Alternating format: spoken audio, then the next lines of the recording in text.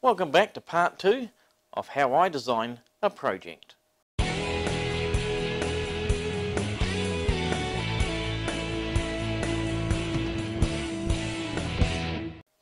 Hello fellow CNC Nuts and welcome. In the last episode I took you through my vision for the uh, console project and showed you what I'd drawn up already. In this case it was just the two sides of the console unit. In this episode I plan to get those cut and then take another look at it and design the next parts of it. Now since uh, this is for Masso it only seems fair that I actually get the uh, Masso unit to cut it out for me. Oh, and um, if you're wondering what this is, uh, I'm not actually auditioning for a lead role in the new Iron Man movie. Uh, it's actually just quite cold out here, and this is a heated vest. Nonetheless, we do need to get this cut because I really want to get this up and running. So without further ado, let's get on with it.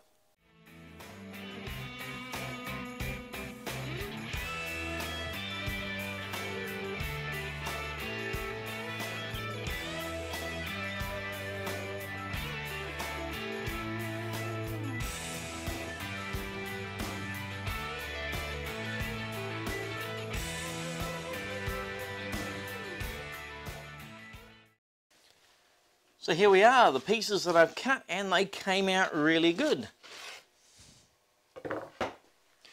This one here, that's the hole that I'm going to put those uh, jacks coming through and uh, my connector there for the D25. Now I figured out what I'm going to use that extra hole for.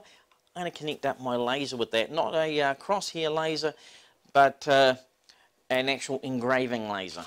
So I hope to be able to engrave photos and uh, of course uh, just text and that type of thing, line, line drawings. Now this is going to sit here and uh, as anticipated my monitor is going to be up here quite a bit higher but as you can see my angle is looking good. And uh, what I now have to work out is just how wide I want to make this. So I'm thinking I might just stick with this aluminium plate I have. It's 19 inches wide. I think it's going to be about right for here. It's not much wider than uh, this here, probably about an extra two, three inches um, in width, but it's going to give me the area I need to put all my switches on. So I think uh, the best thing to do is just to use that as my width, and now I need to make the parts that go in between. By doing it in small pieces, you sort of get the confidence that yes, this is looking right, this is uh, how I wish to proceed. And it may seem strange to some people uh, doing it this way, but uh, of course, I started my woodworking uh, before CNC machines, before computers even, and uh, my plans consisted of a sketch on a piece of paper with maybe a couple of measurements on it, and that was about it. You'd make one part, uh, and you'd slowly build it up as you went. And for these larger projects, I still prefer to do it this way. For the small projects, uh, it's not a problem, but the larger ones, uh, I definitely like to do it just a few pieces at a time and build on it from there. And uh, now that I've got the sides done, I've of course gone and drawn those parts in between. Now I have to make a confession here that uh, I'd already had it built and assembled and I took one look at it and I thought this is a really horrible design. Uh, I've not taken into account that it's not just me that perhaps might be building this uh, because I'm sharing the plans with you guys uh, that uh, maybe you would want to make it. And uh, the design I came up with was um, just not very good at all. Not when it came to assembly. So for instance when we look here at this is the back panel uh, I'd actually made this I'd machined up four separate pieces which all screwed together to make up that square. Now that was great. I didn't end up with this drop out in the center, so I don't have that waste material. But if somebody else is going to follow on from it, it's just so much more needlessly complex uh, to do. From a one-off uh, project that perhaps I might build myself, yeah, okay. But from uh, for a project that I want to share with you guys, it was just truly horrible. So uh, I went back to literally to the drawing board and redrew it. So now the back is one solid piece with the center cut out and uh, having done it with this way as well I can pre-drill the holes in it for my screws. I then went back and made uh, corner sticks here. Again, they're pre-drilled uh, with their holes. The holes don't intersect one another, so I don't have to worry about screws accidentally coming in contact with one another. And it's going to make the assembly just so much easier. The same applies to the front panel, and uh, fortunately here I was able to make use of the dropout uh, to machine some other parts. So here's the uh, CAD drawing for it and I've gone through and labeled the parts as well to make it easier to follow.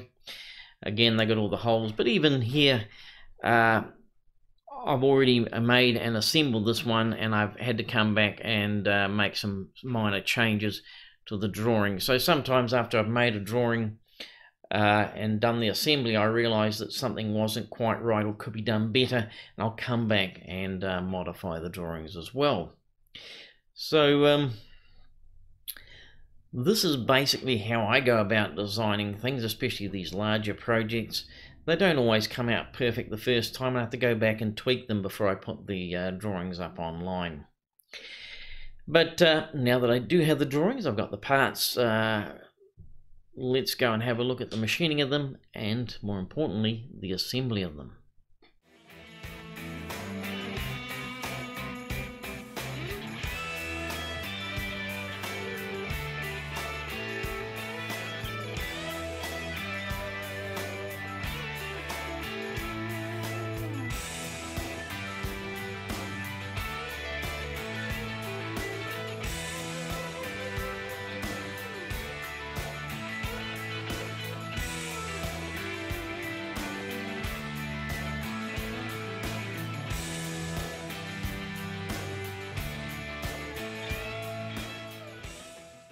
Now comes the exciting part. It's time to put it together. As you can see, I've already made a start on it. I've got the back in place along with one of the sides. I've machined out the front piece as well. That'll just sit in here and that's where the monitor will go. In addition to those, I machined out these pieces here which are the sticks that go in these corners. They're already pre-drilled uh, so that at least one side of them is ready to go uh, to be screwed in place. Now something really important about these is you have to go through and countersink them, but not only on the face side, it's just as important to countersink them on the back. Why on the back? Well, if you've ever tried to screw two pieces of wood together, you'll notice it forces them apart.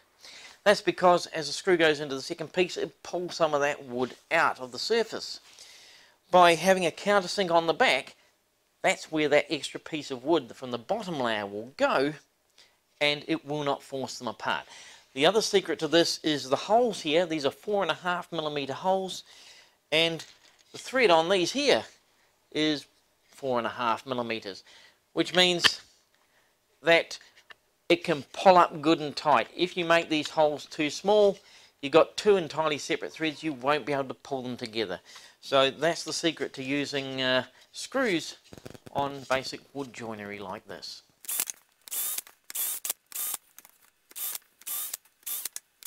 I'm going to start the assembly by attaching this stick to the side here and to make sure it's the right distance back I'm just going to use a piece of offcut which or a piece of uh, one of my other sticks uh, which is the same thickness to work out exactly where it should sit. I want it to basically just sit flush. That looks pretty good, so I'll put my first screw in here. Now it's also important that you get the right uh, depth screw for these jobs so it doesn't come through to the other side.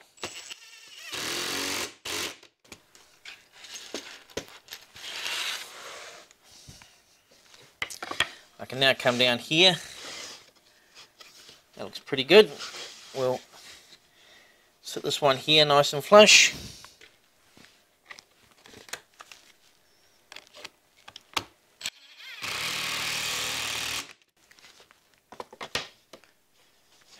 pretty good.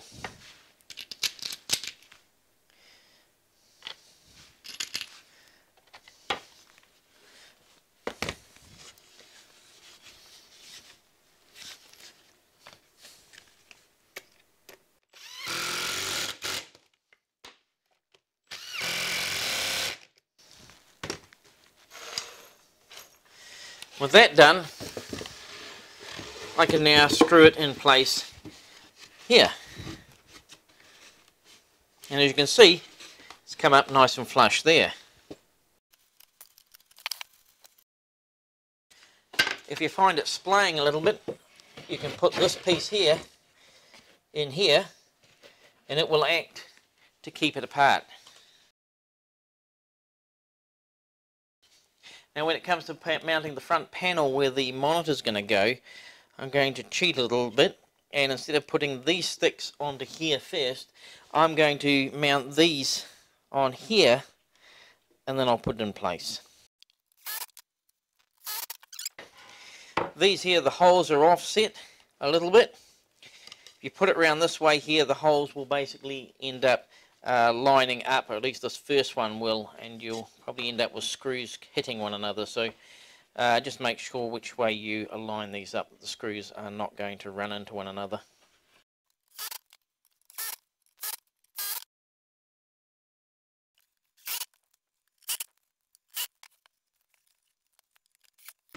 So now with the basic shell of the console built, we need a base. And for that, here's one I prepared earlier. I've just put a couple of drawer slides on.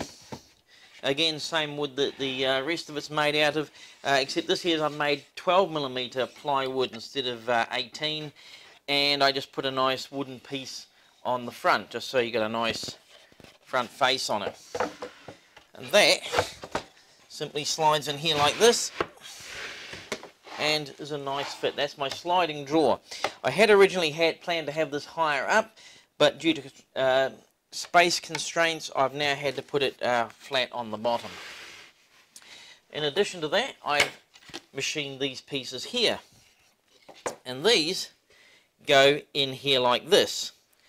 And that will then allow this piece here to attach along the front edge.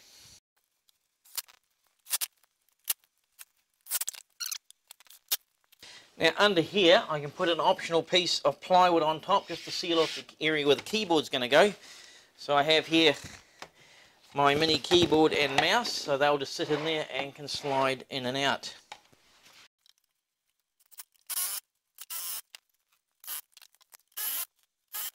So far so good, this isn't looking too shabby at all and uh, basically our monitor can go in here like so just put it upside down. It'll hold it about the right height.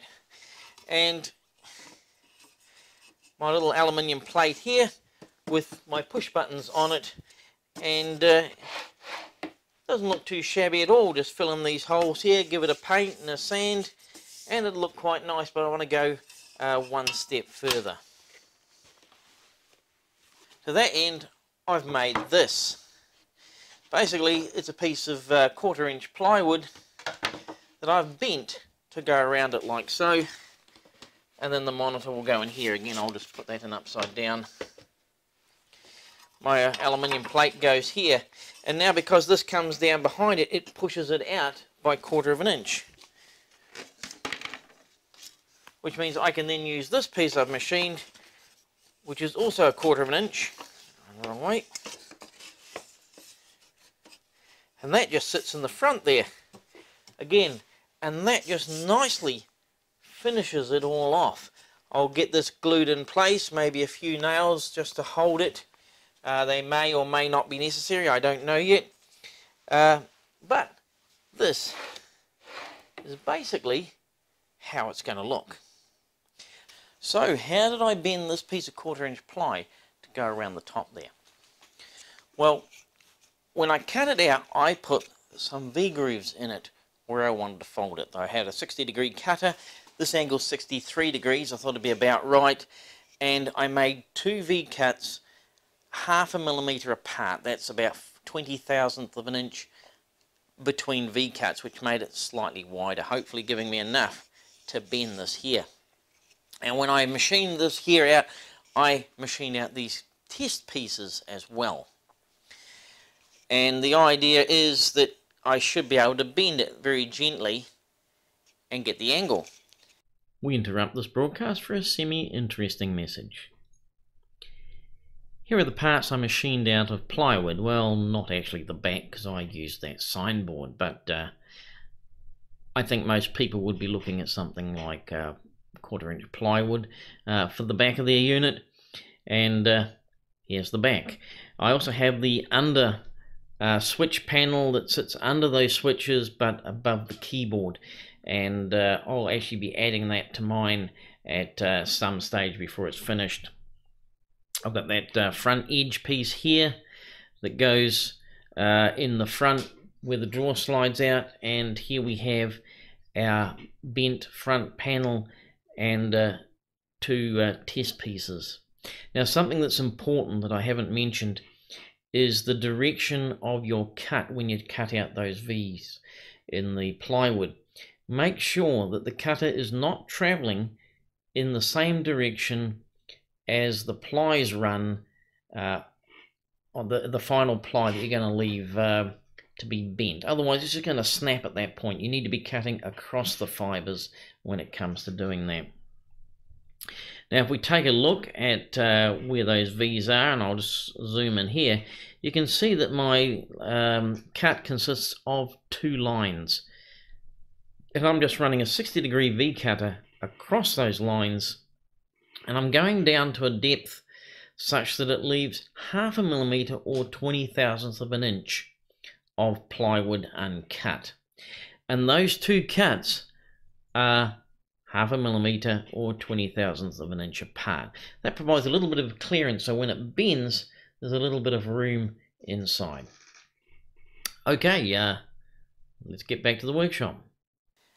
I found that uh, I was getting a little bit of cracking down the edge here so what I did is when I bent this one here and I had some great suggestions from uh, people but uh, in the end I decided I would actually steam it. I put it under a hot kettle, just ran it over the, this groove here, up and down over the steam from a hot kettle, left it there for a little while, and then I gently allowed it to bend and I just put more steam on it and bend it a bit more and just kept going like that and eventually the V here closed up. Once that had happened, what I did is I poured super glue into here and uh, glued it shut like that so that it would stay in that shape. So that's how I did that.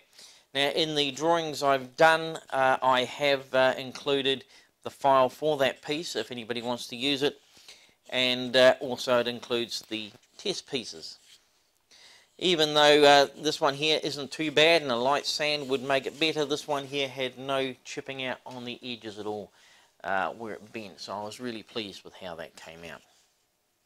Okay, well onward. Now we need to find a way to mount the monitor.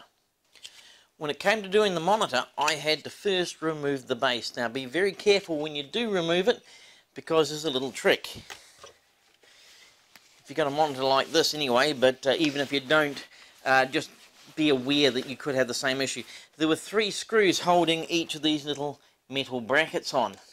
And what I found is, if I removed all three screws here, there's a metal plate in behind which would drop down. Luckily I noticed that before it happened because I could see it skewing. So I did is I removed two screws, swiveled it out of position, put a screw back in, removed it, and then put the other two screws back in. So I've left the screws in place here. So that's just something to be aware of because if that metal plate had dropped down, I probably would have had to crack this thing open and removed it, which I didn't fancy doing.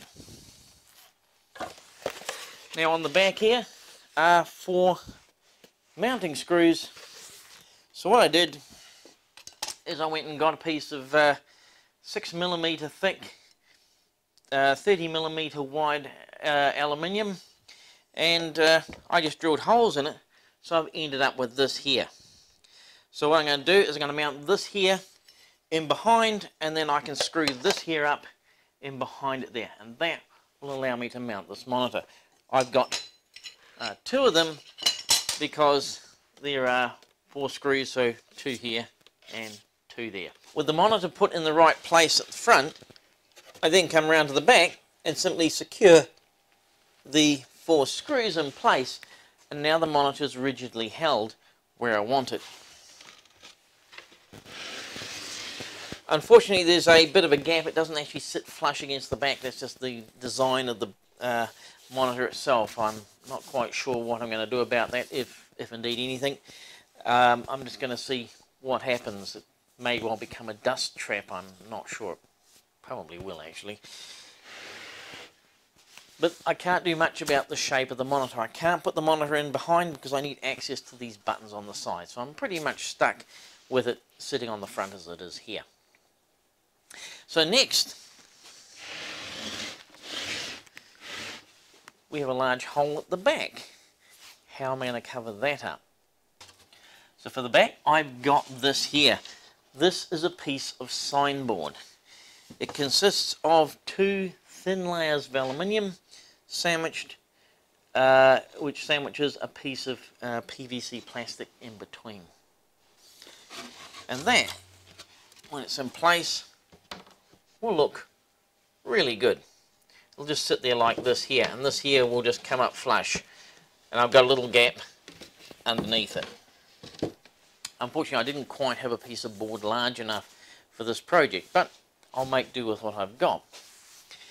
Now, I'm going to hold these on with uh, four or six screws just, just around it, just to hold it in place. And I'm going to mount my Masso on the back here. But I imagine most people doing it would want to mount theirs inside, in which case uh, an opening door or similar could be put there. There's certainly plenty of room in there to put uh, Masso and some other bits and pieces.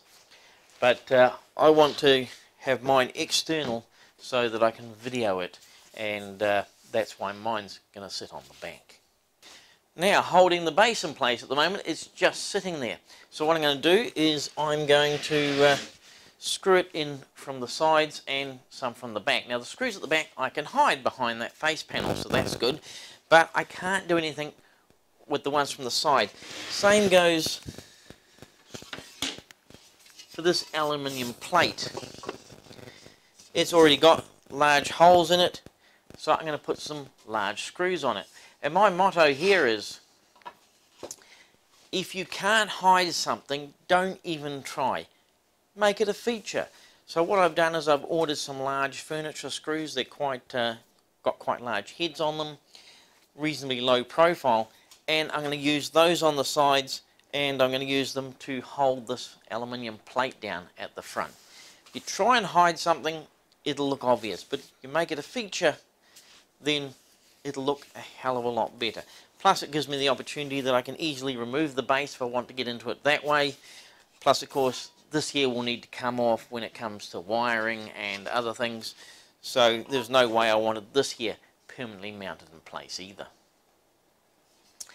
And that's where I'm going to leave it for this episode. I think I've taken up uh, more of your valuable time than I should and uh, I will get on and just finish up the tidying bits, get this glued in place and uh, I'm still waiting for those screws to arrive but uh, I do need to get it painted so that'll be the other thing uh, I get on with as well. All that remains me to do is to thank you guys for watching. Don't forget to like and subscribe. Check out my website uh, www.cncnutz.com. Uh, follow the link in the description box below go off to my website where you'll also find the drawings that I'm using to build this here so far. And with that, I'll catch you guys later. Cheers.